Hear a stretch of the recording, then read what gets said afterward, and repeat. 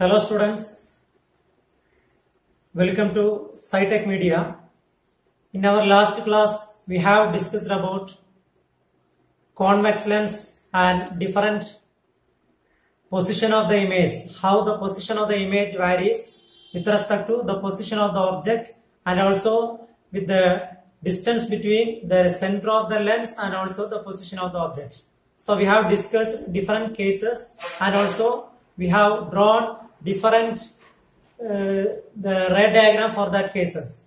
So in this video, we will discuss about what are the applications of convex lenses. So convex lens, already we have studied that convex lens are converging lens. So it is applicable in various fields. For example, it is applied for the purpose of camera lens. When we are taking photographs, we are using camera and for that camera, the lens used is a convex lens.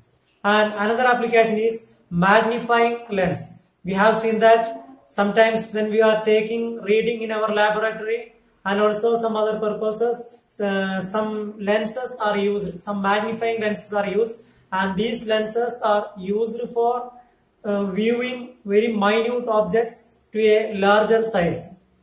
Okay, അടുത്ത വന്നിട്ട് the convex lens எங்க use பண்றதுன்னு பாத்தீங்கன்னா மைக்ரோஸ்கோப்ல use பண்றது. மைக்ரோஸ்கோப்னா என்னது? It is used to view very very minute objects enlarge and also it is used for telescope telescope எதுக்கு யூஸ் பண்றோம்? To view the distant object தூரத்தில் இருக்கக்கூடிய ஆப்ஜெக்டை பார்க்கறதுக்கு டெலஸ்கோப் யூஸ் பண்றோம். அதே மாதிரி ஸ்லைட் ப்ராஜெக்டர் இப்போ ஒரு ஸ்லைடு இருக்கும். அந்த ஸ்லைடை ப்ராஜெக்ட் பண்ணி நம்ம ஒரு ஸ்கிரீன்ல ப்ராஜெக்ட் பண்ணி காட்டுறதுக்கு ஸ்லைட் ப்ராஜெக்டர் யூஸ் பண்றோம். அந்த ஸ்லைட் ப்ராஜெக்டர்லயும் கான்வெக்ஸ் லென்ஸ் யூஸ் பண்றோம். அதே மாதிரி கான்வெக்ஸ் லென்ஸோட இன்னொரு அப்ளிகேஷன் தான் it is used for rectifying hypermetropia hypermetropia என்னது? It is long sight long சைட்டை பத்தி நம்ம டீட்டெயிலா இந்த டாப் டாபிக்கோட லாஸ்ட் பார்ட்ல நம்ம டிஸ்கஸ் பண்ணோம் so all these are the examples for applications of convex lens in our day to day life Okay, in this video, we will discuss about refraction through concave lens.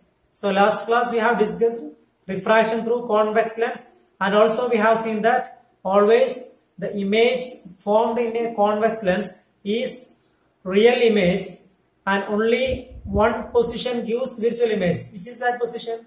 Convex lens പുറത്ത് വരയ്ക്കും ഒരേ ഒരു പൊസിഷനിൽ മട്ടുന്ന നമുക്ക് virtual image கிடைக்கிது. Virtual இமேஜ்னா என்னது? ஸ்கிரீனில் ஃபோக்கஸ் பண்ண முடியாத ஒரு இமேஜுக்கு தான் விர்ச்சுவல் இமேஜ்னு பேரு.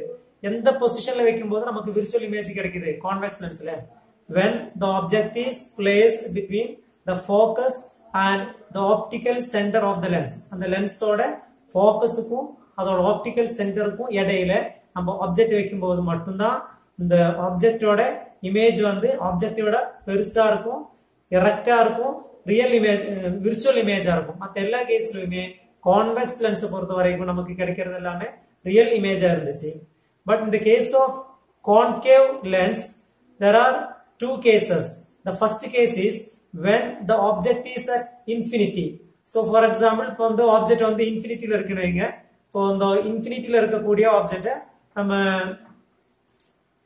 இங்க ஆப்ஜெக்ட் இங்க இருக்கிற மாதிரி நம்ம அசியூம் பண்ணுவோம் so let us assume that object is placed here object வந்து இங்க இருக்கிற மாதிரி நம்ம அசியூம் பண்ணுவோம்.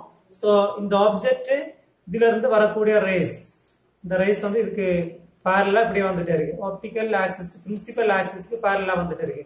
So according to our rules நம்ம அந்த ரூல்ஸை பத்தி நம்ம டிஸ்கஸ் பண்ணும்போது நான் சொல்லி இருந்தேன் உங்ககிட்ட பிரின்சிபல் ஆக்சஸுக்கு பேரலா வந்து இன்சிடென்ட் ஆகக்கூடிய ரேஸ் எல்லாமே after refraction it will diverge அது வந்துட்டு என்ன ஆகும்? ஒரு கான்கேவ் லென்ஸை பொறுத்த வரைக்கும் அது வந்து டைவர்ஜ் ஆகி டிஃபரெண்ட் டைரக்ஷன்ல போகும். ஸோ இதுதான் அந்த டிஃபரெண்ட் டைரக்ஷன்ல அப்படியே போயிட்டு இருக்கு. ஸோ இந்த மாதிரி டிஃபரெண்ட் டைரக்ஷன்ல போகும்போது இது கண்டிப்பா இந்த ரெண்டு ரைஸுமே ஒருபோதுமே கோயின்சைட் ஆகாது. நமக்கு ஆப்ஜெக்டோட பொசிஷன் எங்க இருக்குன்னு பாத்தீங்கன்னா இந்த ரிஃப்ராக்டட் இமேஜஸ் வந்து எங்க கோயின்சைட் ஆகுதோ அங்கதான் ஆப்ஜெக்டோட இமேஜ் ஃபார்ம் ஆகும். ஆனா ஒரு கான்கேவ் லென்ஸை பொறுத்த வரைக்கும் இந்த அவுட் சைட்ல பாத்தீங்கன்னா இந்த ரெண்டு சைடுல இந்த ரெண்டு ரைஸுமே கோயின்சைட் ஆகாது. ஸோ இந்த சைடுல இமேஜ் ஃபார்ம் ஆகிறதுக்கான பாசிபிலிட்டி இல்லை. So we can extend these two refracted rays இந்த இந்த ரிஃப்ராக்டட் ரைஸ் நம்ம என்ன பண்றோம்? அப்படியே ஆப்போசிட் சைடில் அப்படியே எக்ஸ்டெண்ட் பண்ணிட்டே கொண்டு வரோம் அதே மாதிரி இந்த சைடுல இருந்து அப்படியே எக்ஸ்டெண்ட் பண்ணிட்டே கொண்டு வரோம் எக்ஸ்டெண்ட் பண்ணிட்டு வரும்போது இந்த எக்ஸ்டெண்டட் ரே மட்டும் ஒரு பாயிண்ட்ல வந்து கோயின்சைட் ஆகுது. அப்போ அதுக்கு என்ன மீனிங்னா இந்த ரிஃப்ராக்டட் ரே இருக்கு இல்லையா? இந்த ரிஃப்ராக்டட் ரே இந்த பாயிண்ட்ல இருந்து ஃபார்ம் ஆகுற மாதிரி நமக்கு தெரியுது. அதே மாதிரி இந்த ரிஃப்ராக்டர் இருக்கு இல்லையா? இந்த ரிஃப்ராக்டரே இந்த பாயிண்ட்ல இருந்து ஃபார்ம் ஆகுற மாதிரி இருக்கு. ஸோ எந்த பாயிண்ட்ல இருந்து இந்த ரெண்டு ரேயும் ஒரிஜினேட் ஆகுற மாதிரி நமக்கு தெரியுதோ அந்த பொசிஷன் தான் அதோட ஃபோக்கஸ்ங்கிறது ஸோ இந்த லென்ஸோட லெஃப்ட் சைட்ல இருந்து தான் ஆப்ஜெக்ட் இருக்கு. அதே லெஃப்ட் சைட்ல தான் அதோட இமேஜ் வருது. ஸோ இந்த இமேஜ் நமக்கு என்ன பண்ண முடியாது? ஒரு ஸ்கிரீன்ல ஃபோக்கஸ் பண்ண முடியாது. அதனால இந்த இமேஜுக்கும் நம்ம என்ன பேருன்னு சொன்னா விர்ச்சுவல் இமேஜ் ஸோ இந்த case of a concave lens we are getting a virtual image when the object is uh, placed at the infinity. Next வந்து uh, நமக்கு ஆப்ஜெக்ட் வந்து ஒரு ஃபைனட் டிஸ்டன்ஸ்ல இருக்கும்போது ஆப்ஜெக்ட் வந்து ஒரு ஃபைனட் டிஸ்டன்ஸ் ஃபைனட் டிஸ்டன்ஸ் என்னது? ஒரு குறிப்பிட்ட ஒரு டிஸ்டன்ஸ்ல இருக்கும்போது நமக்கு அந்த ஆப்ஜெக்ட் எங்க கிடைக்குதுங்க? அதோட இமேஜ் எங்க கிடைக்குதுங்கிறத நம்ம பார்ப்போம்.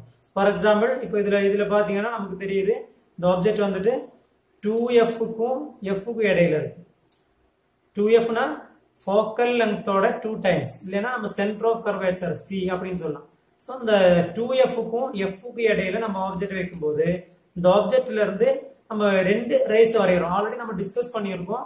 ரிஃப்ராக்ஷன்ல இமேஜ் ஃபார்மேஷன் எங்கேங்கிறத கண்டுபிடிக்கிறதுக்கு ரெண்டு மினிமம் நமக்கு ரெண்டு ரேஸ் இருந்தா போதும் ஃபர்ஸ்ட் ரேஸ் வந்து பாத்தீங்கன்னா it is starting it is passing parallel to the optic uh, principal axis so according to the rules the rays which are passing parallel to the principal axis after refraction அது என்ன ஆகும் it is pass it is uh, seems to be originating from the focus of the lens அந்த லென்ஸோட ஃபோக்கஸ்ல இருந்து originate ஆகுற மாதிரி நமக்கு தெரியும் And the ray incidenting parallel to the optical sorry parallel to the principal axis the refracted ray seems to be originating from a point which is the focus of that concave lens another rule நம்ம பார்த்தோம்னா the ray which is passing through the optic center அந்த லென்ஸோட optic center வழியா pass ஆகக்கூடிய light after refraction it will not suffer any deviation அது வந்து எந்த விதமான ஒரு deviation இருக்காது அதனால அது நேரா போகும். ஸோ இந்த ரெண்டு ரேயுமே எங்க கோயின்சைட் ஆகுதோ அங்கேதான் நமக்கு இமேஜ் ஃபார்ம் ஆகும். ஆல்ரெடி நம்ம சொன்ன மாதிரி இந்த ரெண்டு ரேஸுமே கண்டிப்பா கோயின்சைட் ஆகிறதுக்கு சான்ஸ் இல்லை. ஏன்னா ரெண்டு ஒன்னுல இருந்து ஒன்று டிஸ்டன்ட் தூரத்துல போயிட்டு இருக்கு. ஸோ நம்ம என்ன பண்றோம்? இந்த ரெண்டு ரேஸையும் அப்படியே பேக் சைடில் எக்ஸ்டெண்ட் பண்ணிட்டே கொண்டு வரோம். இந்த ரெண்டு ரேயும் பேக் சைடில் எக்ஸ்டெண்ட் பண்ணிட்டு கொண்டு வரும்போது ஒரு குறிப்பிட்ட பாயிண்ட்ல இது ரெண்டும் கோயின்சைட் ஆகுது. ஸோ எங்கே ரிஃப்ராக்டட் ரேஸ் வந்து கோயின்சைட் ஆகுதோ அந்த பாயிண்ட்ல தான் நமக்கு இமேஜ் கிடைக்கும் இங்க வந்து ஆக்சுவலா கோயின்சைட் ஆகிறது இல்ல they are seems to be they seems to be coinciding they are sub we can imagine we are and they are assumed to be coinciding at this point so we can say that the image of this object is obtained at this point see this image is also in the left side of a concave mirror so we cannot project this image on a screen so this type of image is also known as a virtual image so in the second case also a concave lens produces a virtual image and also the image is very smaller than that size of that object. So this is the second case.